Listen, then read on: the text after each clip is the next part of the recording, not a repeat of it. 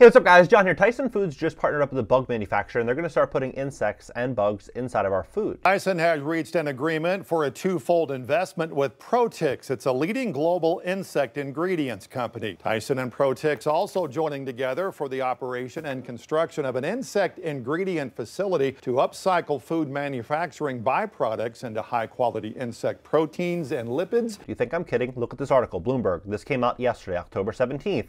It says Tyson Foods joined bug protein craze in partnership with a startup. But unfortunately, it doesn't, it doesn't end there. This is actually just the start. Over the next 6 to 12 to 24 months, you're going to see so much change happen inside of the food system. How you live, where you travel, all these different things are going to start to happen. And smart and savvy entrepreneurs, investors, and Americans are paying very close attention to this so they can position themselves because not everybody wants to eat the bugs, right? Not everybody wants to do that. So you got to position yourself for change because at the end of the day, money equals options, options equals wealth in this new normal. Please hit the like button. When you hit the like button, YouTube's going to share this content to educate more people about what's really going on. And if you'd like to fix your credit, we'd love to help you at my company, greatcreditfast.com. That's greatcreditfast.com. If you have late payments, medical bills, charge-offs, foreclosures, bankruptcies, repossessions, any negative item on your credit report, go to greatcreditfast.com by clicking the link below to schedule a free strategy session. Take a look at this.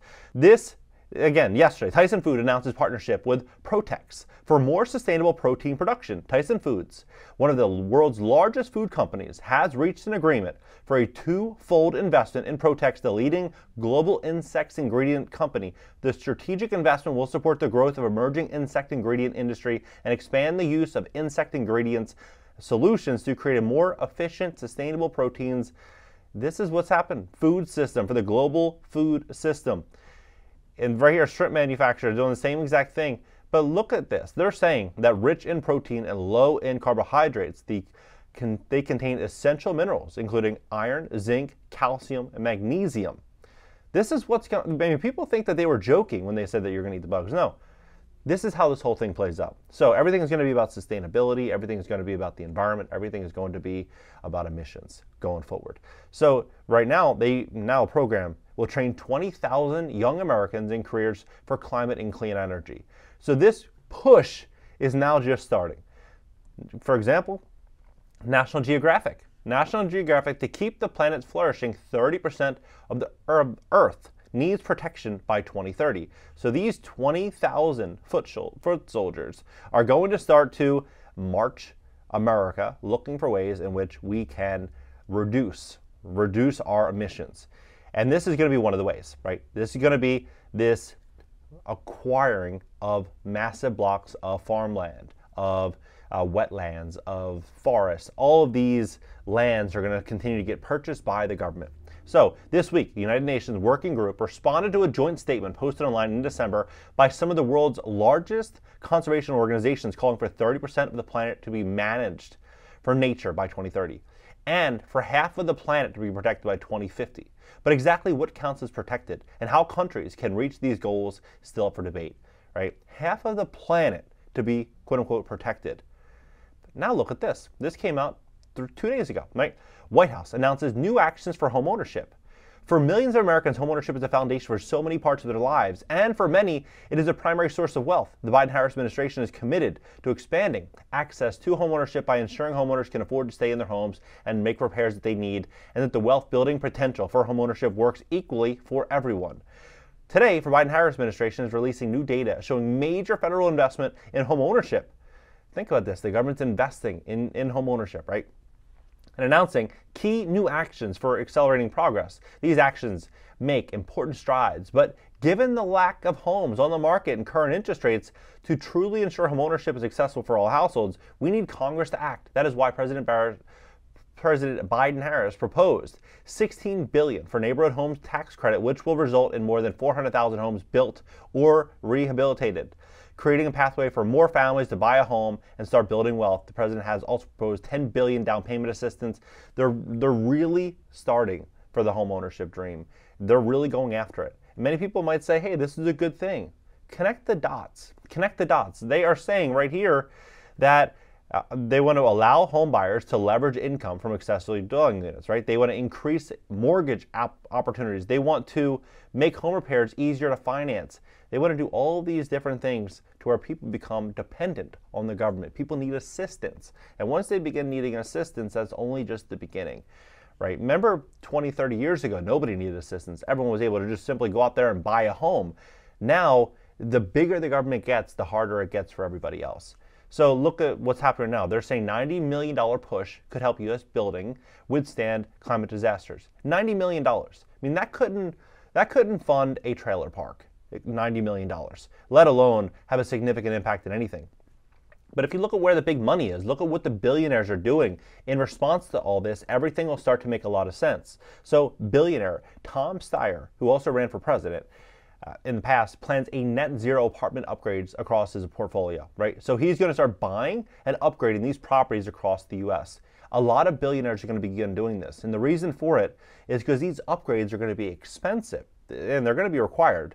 They're going to be required by law. So when these billionaires are able to go out there and buy these properties as interest rates are at all-time highs. You have one and a half trillion dollars in commercial real estate that has to get refinanced over the next 12 months. What's ultimately going to happen? People aren't going to be able to refinance their loans. And if they can't refinance their loans, they're going to be forced to sell their properties. And what a great time for a billionaire or for a large corporation to be able to say, look, yeah, I know you can't you know, refinance that loan, but maybe they go to the bank and they buy the property. They buy it directly from the seller. And so they buy it, they do these upgrades, and now they are, you know, able to multiply money. That's what billionaires generally do.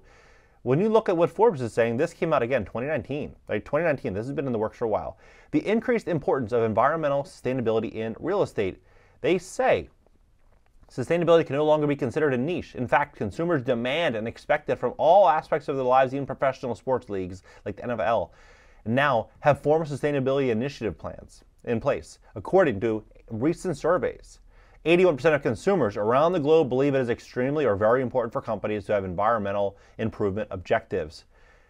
Investors are looking to buy or upgrade rental properties can expect many of the same premises to ring true. The largest pool of tenants is likely coming from younger generations, millennials, and even Gen Z, who care about the carbon footprint. Properties can stand out from the crowd if they have features that highlight the environmental consciousness.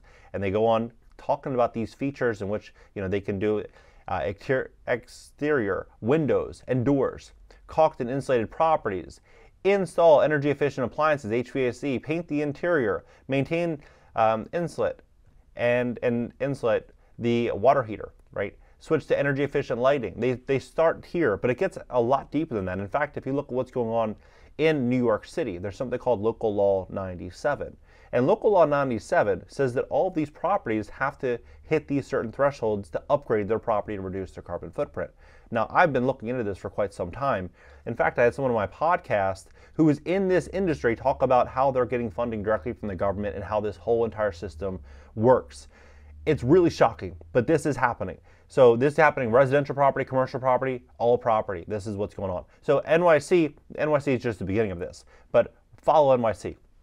NYC building owners could get a two year relief from Local Law 97. Local Law 97 requires most New York City buildings over 25,000 square feet to meet new energy efficiency and green energy uh, greenhouse gas emission limits by 2024. These upgrades can include, for example, high performance improvements for facades and windows passed by City Council in 2019. The goal of this law is to reduce emissions being produced from the city's largest buildings by 40% from 2030 and 80% by 2050. With the law set to take effect in a few months, DOB officials announced or spelled out the rules for the effort to alleviate property owners concerning regarding the $268 for every ton of emissions above the limit. Officials told property owners that even if they make good faith efforts to meet the sustainability requirements but don't achieve them by 2024 deadlines, could they could possibly get two more years, right? The enforcement. So look at how big this is. According to Bloomberg, only 11% of 40,000 buildings covered under the law will be able to be in compliance next year. 11%. And there's numbers saying, you know, in the millions of dollars will be the fines if they don't comply uh, per building, right? So depending on the size of the building, of course, depending on, you know, it's going to be case by case. But there's been multiple articles coming out saying it's going to be in the millions of dollars per year uh, range. Some I've even read of one being $25 million per year. So you start to look at what this is going to mean. This is going to mean a lot of money. This is going to mean a lot of money. It's going to mean a lot of cost at a period in which many people don't have money. Look at this, for example, though. They say right here implement and enforce building energy regulations and mandatory performance standards for existing buildings. And this, these are, this is the location. So just so you can kind of get a general idea, this is all over the world. This is happening really, really rapidly. And, uh, and things are about to change in a big way. I mean, everything, even air travel, for example. Uh, the aviation industry is set to spend $1 trillion in carbon offsets by 2050. So right now, if you're enjoying going on Skip Skiplagged or any of these online apps and booking a flight from LA to New York City for 85 bucks, that's that's the thing of the past. Over the next year or two, that trip is going to double, triple, quadruple. It's going to get a lot more expensive to travel.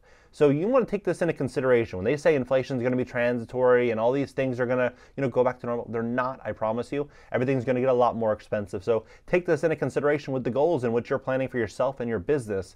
Plan for a more expensive world because that's what we are walking into. I mean, they're, they're going to be cracking down on it even across e-commerce for your business. You're not going to be able to escape what's coming. Amazon, for example, a big climate change uh, stress test is coming for Amazon sellers and suppliers. Now, I talked about this before. If you are selling a product on Amazon, you're going to have to start to submit your emissions for your business. How you know how much emissions is this emitting into the environment, and you know what what should be the cost? What should you have to pay because of this? So take all this stuff into consideration. Pay very very close attention to it because Tyson, you know, now partnering up to join the uh, bug protein craze is just the start of it. Drop below. Let's have a conversation about it. If you'd like to fix your credit, we'd love to help you. At my company, greatcreditfast.com. That's greatcreditfast.com. You can click the link in the description below this video, schedule a free strategy session. Catch you guys in the next one.